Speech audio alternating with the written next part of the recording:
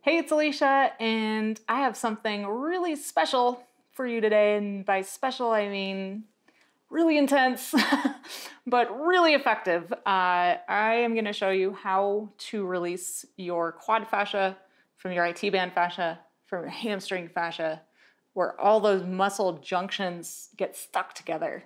Uh, so we're actually going to go after all of that in kind of one technique or one way, one body position on a foam roller. Reasons you would want to do this, you're gonna go to optimization, right?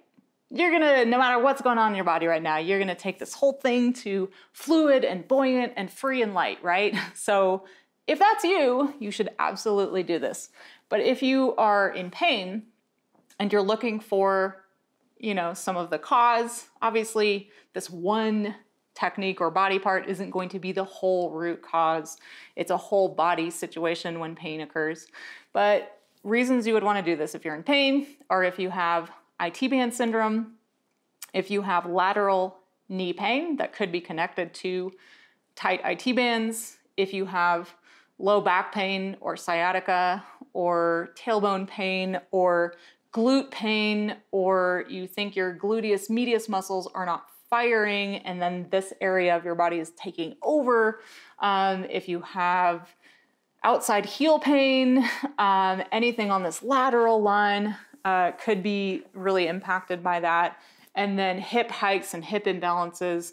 Uh, if that is you, if you think you have some kind of hip hike or hip imbalance, and that may be part of the reason you have low back pain, let's say, or SI pain or tailbone pain, or the glutes not firing, then uh, what you will, will definitely want to pay attention to here is whether your right leg or your left leg is more restricted.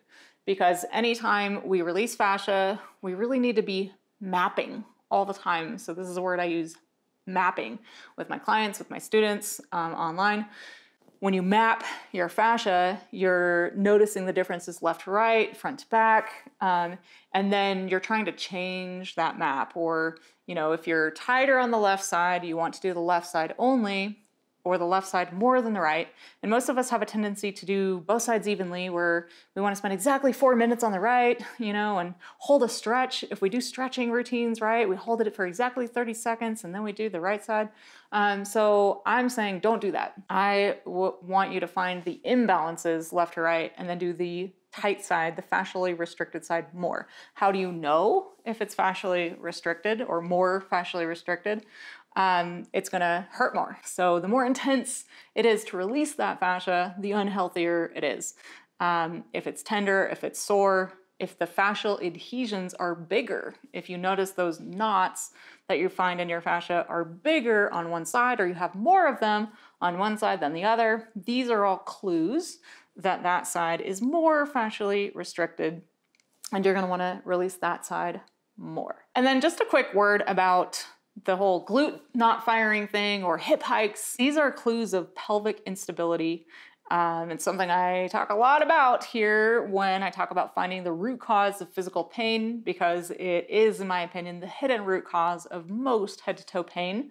Um, it just means pel- pelvic instability just means that maybe one of the your hips is rotated forward or backward or one is hiked up.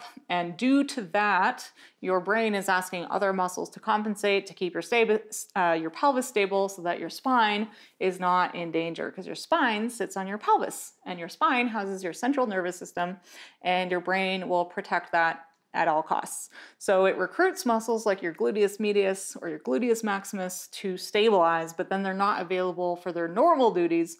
And you really need a gluteus medius available to you to stand, to walk, to hike, to run, to lunge, to squat, um, all kinds of things. So we need those muscles, but oftentimes they become inhibited. So if this is something you resonate with, if you hear me talking right now and you're like, oh my God, I think this is my issue, um, then I invite you to check the description box below this video because I have a really great masterclass on this topic called Understanding Pelvic Instability, and it will really help make sense of all of this for you, including how you maybe got into this situation in the first place. So, with that, I'm going to show you how to release your quad uh, fascia from your IT band fascia, from your hamstring fascia all at once. All right, so this entire sequence, I like to start out on my quad. So remember, we're going after the quad fascia, where it's stuck to the IT band fascia, where it's stuck to the hamstring fascia. All three of those muscles and then the junctions between them. Um, you can start high on your quad, you can start low to your knee or in the middle, it doesn't really matter. Um, I, you know, I'm high on my quads right now, so I'm just gonna start there. Um, so I might start just by exploring my quads here. So I'm gonna rotate my femur. Got some nice clunks there. And so right now I'm only on my quad. Um, and I'm resting my right thigh on the foam roller.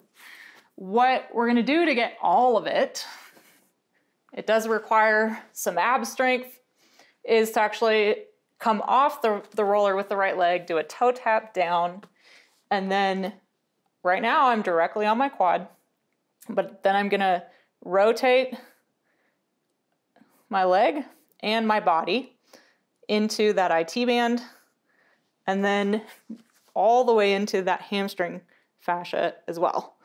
And then once I'm here, I can play around with, I could stay straight and rotate very slowly. And we've got a clunk and then another one and then another one. so this definitely requires some agility and patience. And you can certainly take a break and rest your upper body if you need to in between, but that's it. Um, the other options, though, for each spot would be bending and straightening, bending and rotating. So you could stay bent and rotate, that's always an option. And I encourage you to always explore each one and then straight and rotating or some combination thereof.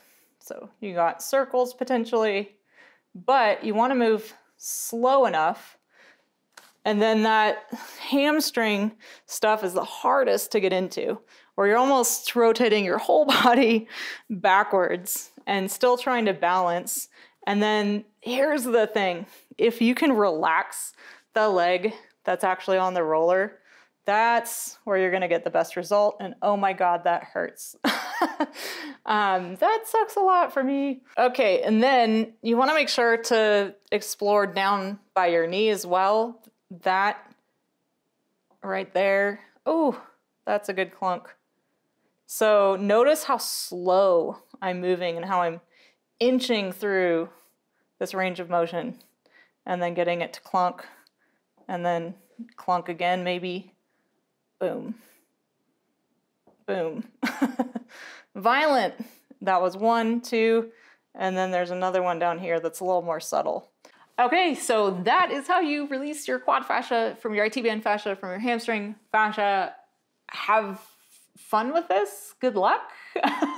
um, I know it's going to be really intense for most of you if you're anything like me, um, because this is just an area of really dense fascia anyway, and where there's more dense fascia, there are more of those nerve receptors that kind of ping us that, oh, this is like kind of intense.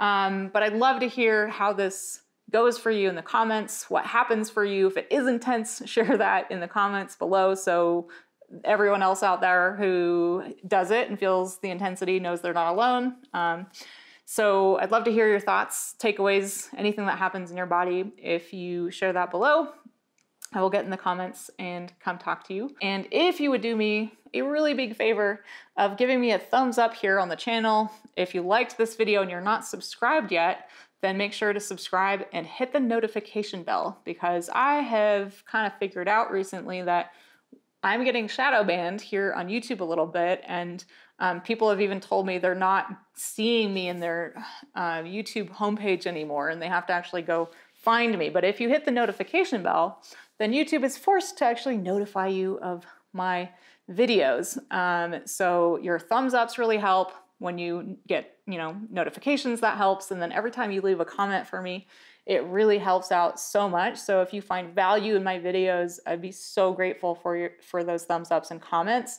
And I try to respond to every thoughtful comment uh, that comes through. So thank you so much for watching this video. I hope it serves you and your body, and I will see you next time.